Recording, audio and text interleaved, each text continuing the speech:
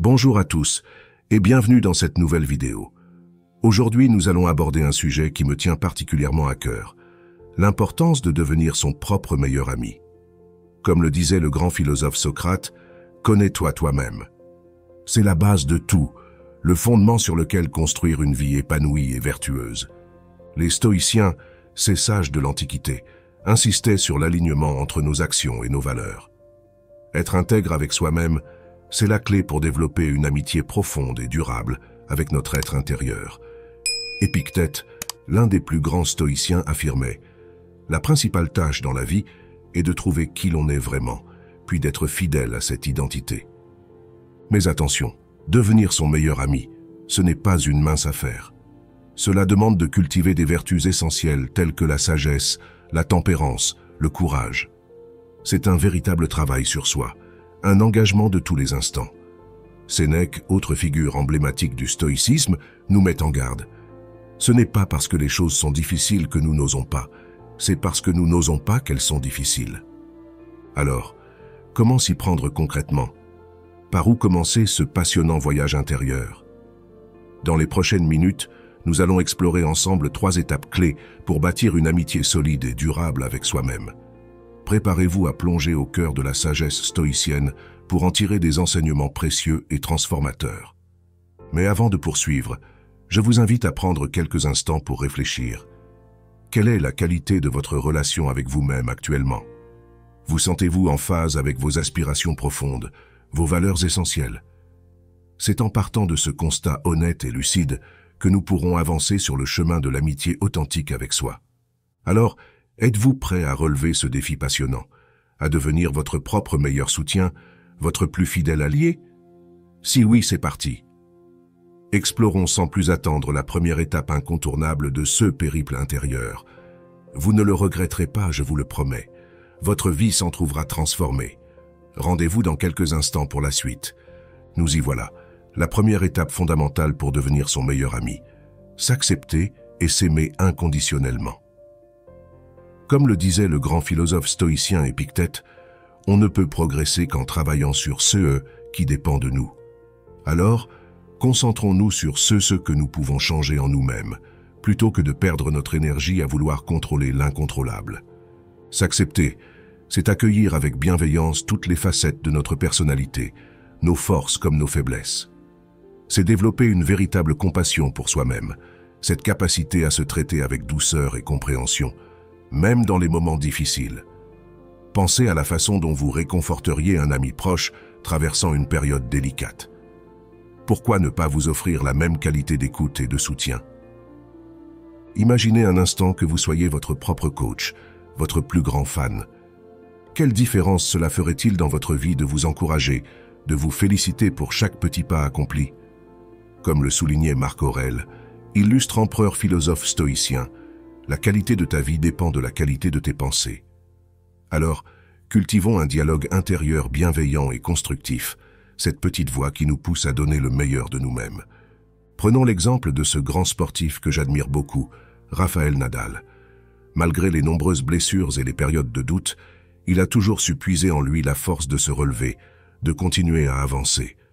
Son secret, une confiance inébranlable en ses capacités, et un amour inconditionnel pour la personne qu'il est, au-delà des victoires et des défaites.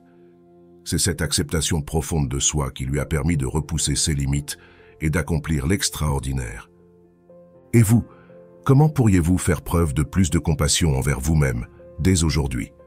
Peut-être en prenant le temps de reconnaître et de célébrer vos réussites, aussi petites soient-elles, ou encore en vous parlant avec la même bienveillance que vous accorderiez à un être cher. Chaque geste compte. Chaque pensée positive est une graine plantée dans le jardin de votre amitié avec vous-même. N'oubliez pas, devenir son meilleur ami, c'est un voyage passionnant mais exigeant. Cela demande de la patience, de la douceur et une bonne dose d'humour aussi. Comme le rappelait Sénèque, la vie est une comédie pour ceux qui pensent et une tragédie pour ceux qui ressentent. Alors, apprenons à prendre du recul, à ne pas nous prendre trop au sérieux. Rions de nos maladresses, accueillons nos imperfections avec légèreté. Je vous invite dès maintenant à faire un premier pas sur ce chemin de l'acceptation de soi. Prenez quelques instants pour vous regarder dans le miroir et vous dire, avec toute la sincérité possible, je m'aime et je m'accepte exactement comme je suis. Ressentez la puissance de ces mots. Laissez-les infuser en vous. C'est un acte révolutionnaire, un premier pas décisif vers une amitié authentique avec vous-même. Et ce n'est que le début. Dans la prochaine partie, nous explorerons l'importance du dialogue intérieur et de la réflexion pour renforcer cette relation privilégiée avec soi. Préparez-vous à plonger encore plus profondément dans votre monde intérieur et à y faire des découvertes passionnantes. Votre vie ne sera plus jamais la même, je vous le promets. Alors, rendez-vous dans quelques minutes pour la suite de notre passionnant voyage au cœur de la sagesse stoïcienne. D'ici là, n'oubliez pas, vous êtes extraordinaire, exactement comme vous êtes. Accueillez-vous avec amour et compassion. Je m'adresse à la personne trésor que vous êtes. À très vite. Nous revoilà prêts à poursuivre notre exploration de la sagesse stoïcienne pour devenir notre propre meilleur ami. Et croyez-moi, cette deuxième étape est absolument cruciale. Cultiver le dialogue intérieur et la réflexion.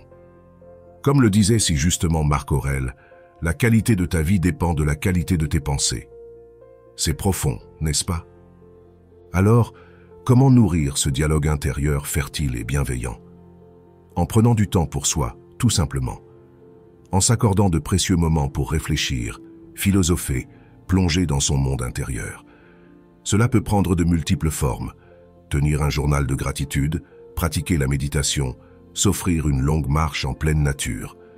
L'essentiel est de créer un espace sacré où vous pouvez être pleinement à l'écoute de vous-même. Pensez à Socrate, ce géant de la philosophie, qui passait ses journées à déambuler dans les rues d'Athènes engagé dans de profondes conversations avec ses concitoyens. Il ne cessait de les interroger, de remettre en question leurs certitudes, pour les inviter à penser par eux-mêmes. Et si nous devenions, nous aussi, le Socrate de notre propre vie?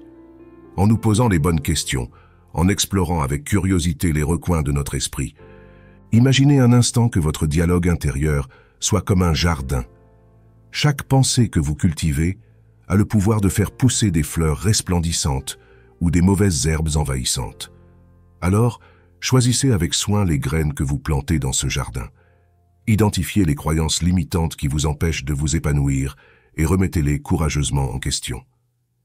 Comme le rappelait Épictète, ce ne sont pas les choses qui nous troublent, mais l'opinion que nous nous en faisons. Prenons un exemple concret. Peut-être avez-vous grandi avec l'idée que vous n'étiez pas assez intelligent, pas assez talentueux ou talentueuse. Cette petite voix intérieure, tel un vieux disque rayé, ne cesse de vous répéter ces paroles désespérantes. Mais est-ce vraiment la réalité? Ou simplement une histoire que vous vous racontez?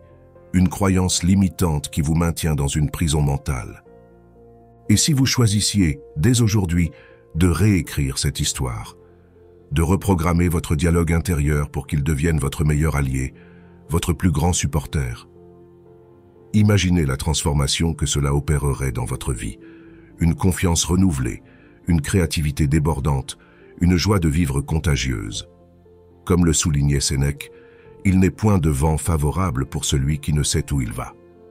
Alors, fixez votre cap sur une destination émancipatrice et laissez votre dialogue intérieur vous y mener.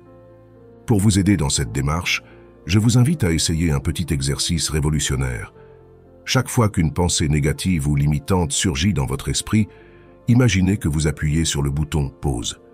Prenez le temps d'observer cette pensée avec bienveillance et curiosité, comme un scientifique étudierait un spécimen fascinant.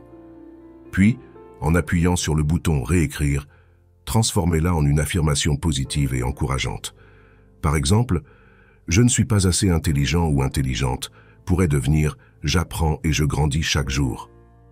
Cet exercice pratiqué avec assiduité, a le pouvoir de métamorphoser votre dialogue intérieur. Et ce n'est pas tout.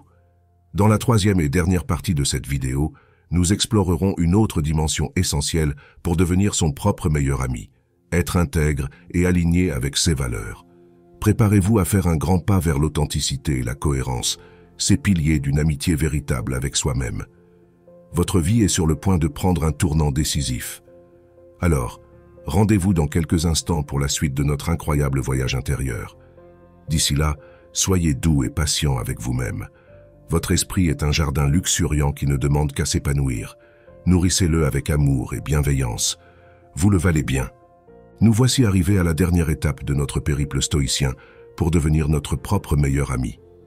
Et croyez-moi, elle est absolument essentielle. Être intègre et aligné avec ses valeurs.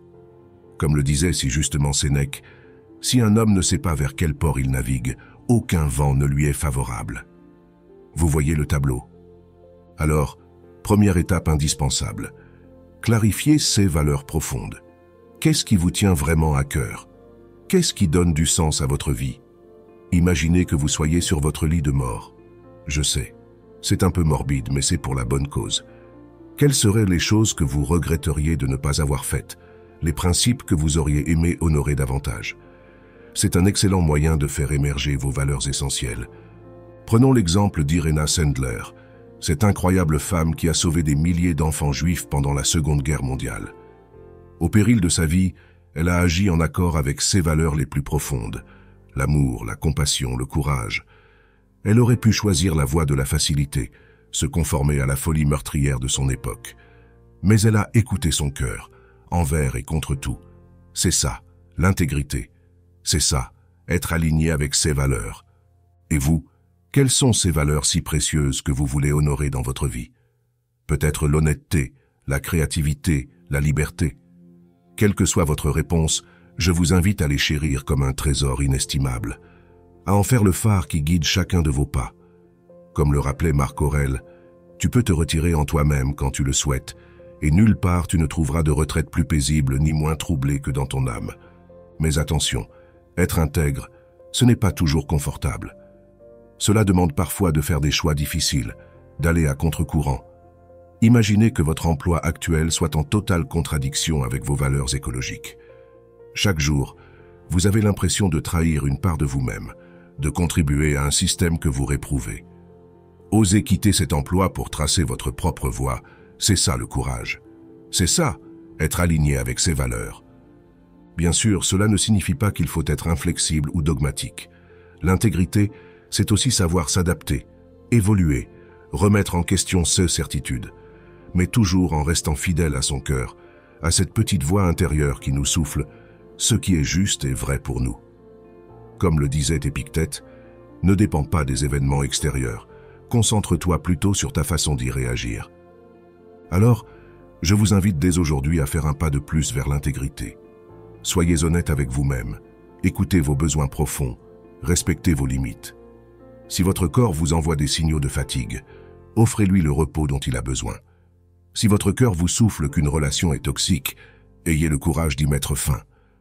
Chaque petit acte d'alignement avec vos valeurs est une victoire, une pierre de plus à l'édifice de votre amitié avec vous-même. Et n'oubliez pas, ce chemin vers l'intégrité est un voyage de toute une vie. Il y aura des embûches, des moments de doute, des défis à relever. Mais en restant fidèle à vos valeurs, en cultivant cette relation d'amour et de confiance avec vous-même, vous deviendrez chaque jour un peu plus cet ami bienveillant et sage dont vous avez tant besoin. Nous voici arrivés au terme de notre exploration stoïcienne.